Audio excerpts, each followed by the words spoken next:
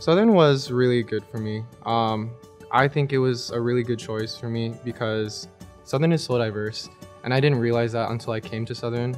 A friend group is so substantial to your experience in college, and I feel like my freshman group that we've been friends with since freshman all the way up to senior year, it's really made that experience the best, and I could not ask for anything more.